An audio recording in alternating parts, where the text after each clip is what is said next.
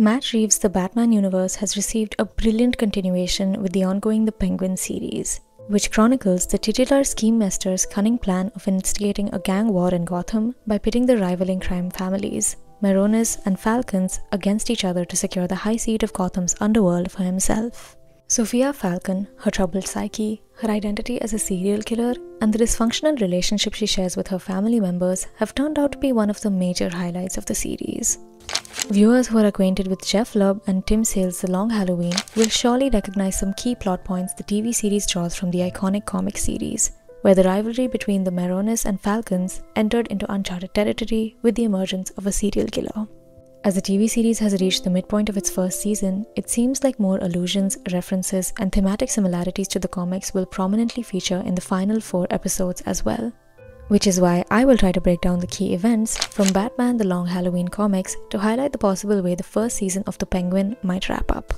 Before we continue, a spoiler warning is in order as we will be discussing essential plot points and character details from the comics. So if you've read them already, let's dive straight into the video. While you're at it, please like the video and subscribe to our channel as it helps us a lot. Holiday Killer Strikes Just like some of the best Batman comics, The Long Halloween focuses more on Bruce Wayne compared to his caped crusader alter ego. And from the very beginning of the first issue, a strong influence of the Godfather movie series can be noticed in the narrative progression. Bruce's father, Thomas Wayne, had saved the dreaded kingpin Carmine the Roman Falcone's life prompting Bruce to unwittingly end up connected with the mob boss. Carmine tries to pursue Bruce to assist him in laundering his money through Gotham City Bank, which Bruce refuses to help him with, and later, forcing bank president Richard Daniel, Batman ensures Falcone's blood money stays out of the bank. Richard is assassinated by Carmine's nephew Johnny Vitti, who himself ends up as the first victim of a new serial killer in Gotham City during Halloween.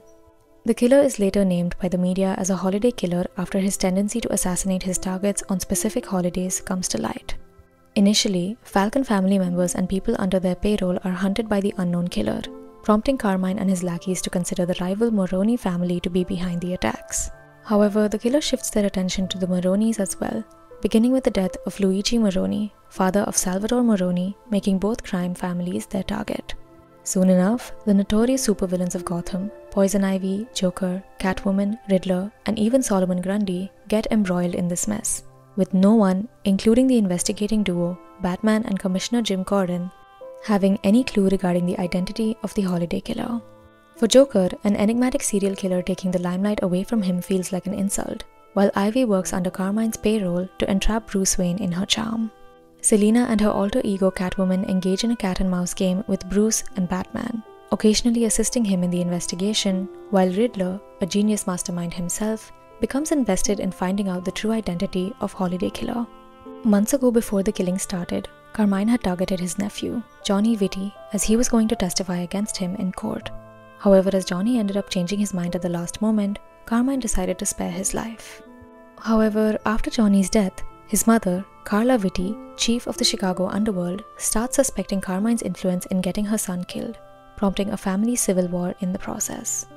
The angle of Johnny Vitti's betrayal was highlighted differently in the Penguin series, where his affair with Luca Falcone's wife becomes a vital plot point. Dent Family Crisis The Long Halloween functions as much as a Harvey Dent story as it does a Batman narrative. The story almost acts as a spiritual successor to Frank Miller's seminal Batman classic, Batman Year One, as straight arrow, toughest nails DA of Gotham City, Harvey Dent gets introduced to Batman through Gordon as the trio makes an effort to dismantle Carmine's criminal empire and getting tangled in the serial killer investigation in the process. Harvey's wife Gilda feels exasperated by her husband's workaholic tendencies and wants him to settle down and try to have a child and raise a family. Trouble follows as Carmine sends hitmen to kill the Dents after Harvey and Bats burn down millions of his blood money. However, Harvey and Gilda survive the assassination attempt. Joker pays a visit to the Dent household as well, brutalizing Harvey before leaving, much to Gilda's horror. You have to keep in mind that this version of Harvey doesn't come from wealth, had a rough childhood, and at present, as he is hell-bent to uphold justice by the books, Gotham's despicable criminal elements test his psyche.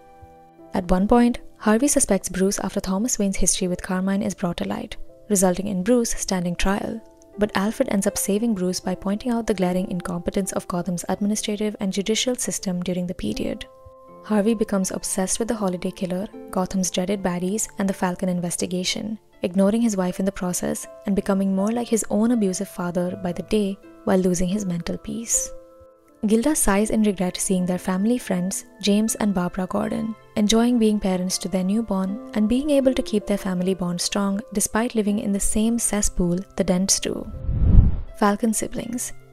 Carmine's sharp, neurotic, perceptive son, Alberto Falcone, comes into focus right from the first issue, whose relationship with his father becomes a highlight of the Falcone family story arc. Carmine cares for Alberto and wants him to stay out of the family business for his own good, but Alberto seems to be too eager to prove himself to his father. On New Year's Eve, Alberto is killed at the hands of the holiday killer and is thrown out of a luxury cruise. To find and apprehend the holiday killer, Carmine brings his daughter, Sophia Falcone, out of Arkham, who uses her brawn to rattle a few cages in search of this new freak of Gotham. Sophia's troubling relationship with her father comes to light, as Carmine seems to harbor a disapproving mindset towards her, while all Sophia wants is a gesture of love or affection from her father.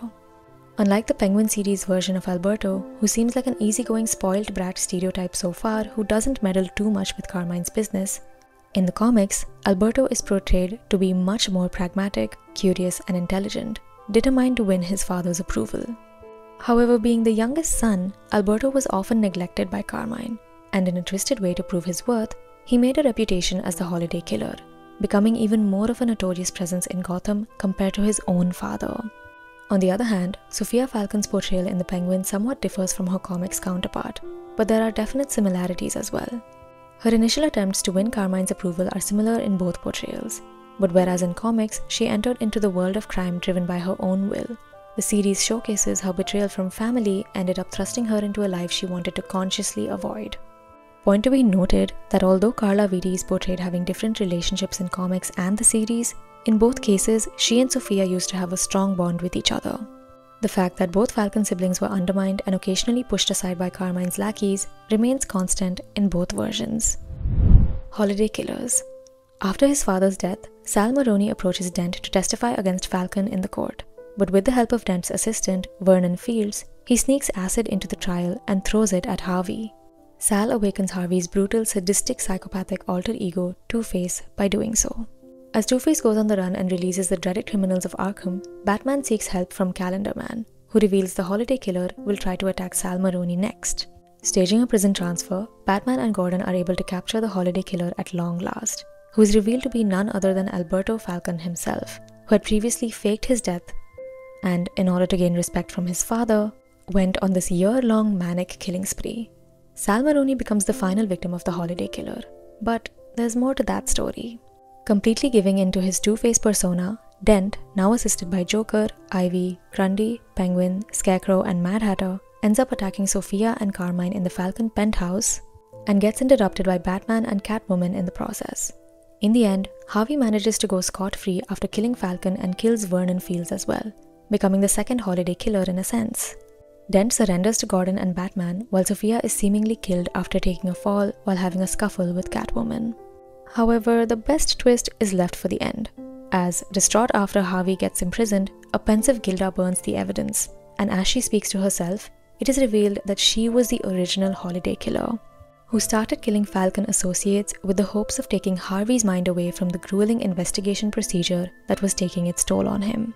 She killed the first few victims and strongly believes that Harvey was inspired by her actions as well and eliminated the scum of Gotham's underworld on his own while the credit was given to Alberto Falcone. The series ends with Gilda believing in Harvey's reformation. Sophia Falcone appears in the sequel series Batman Dark Victory, where she is revealed to have survived the fall and become paraplegic. But in reality, Sophia was only pretending to be paralyzed while taking revenge for her father's murder by hanging cops to death thereby becoming the infamous Hangman Killer. Sophia ends up killing her brother Alberto as well and meets her end as Batman tries to stop her from killing Harvey Dent, only for Dent to put the bullet in her brain. In the Penguin series, the multiple serial killer and the Falcone family conspiracies might take shape in a different way in the remaining four episodes. As I suspect that the Hangman killer was none other than Alberto Falcone. Carmine probably tried to keep his son from getting captured in order to let him ascend the throne of the Falcon crime family instead of Sophia thereby maintaining the patriarchal status quo of the family. If that proves to be the case, It will be interesting to see in the upcoming episodes of The Penguin how Sophia copes with the reality that her brother, the only person whom she trusted, ended up becoming the reason for her misery as well. Thank you for watching this video and do share your expectations for the remaining 4 episodes of The Penguin in the comment section below.